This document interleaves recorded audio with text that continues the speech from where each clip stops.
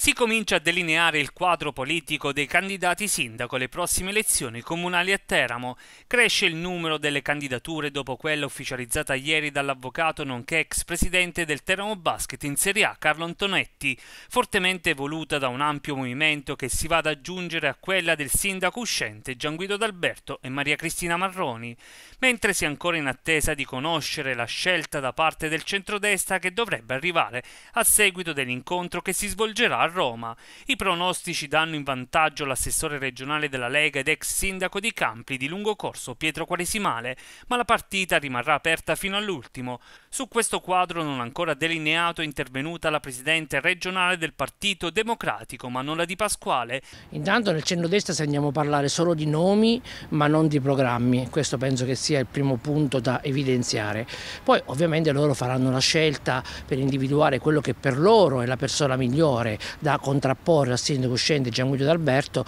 che credo però abbia in questi anni fatto molto bene, avviato anche una programmazione di lungo respiro oltre che, che risolvere le problematiche diciamo, immediate della città e questo secondo me è un punto di forza anche nella progettualità politica che presenterà nella sua nuova candidatura per il secondo mandato. Cosa pensa della candidatura di Carlo Antonetti? Beh, avrei voluto che Carlo Antonetti fosse stato il mio candidato sindaco circa 15 anni fa, io ero segretario del partito quando proponemmo lui candidato sindaco, ritengo che sia una persona sicuramente stimabile e di, di grande respiro eccetera, ma credo eh, che oggi la sua candidatura non abbia la possibilità di crescere perché ancora in realtà non capiamo quale sia il progetto della città.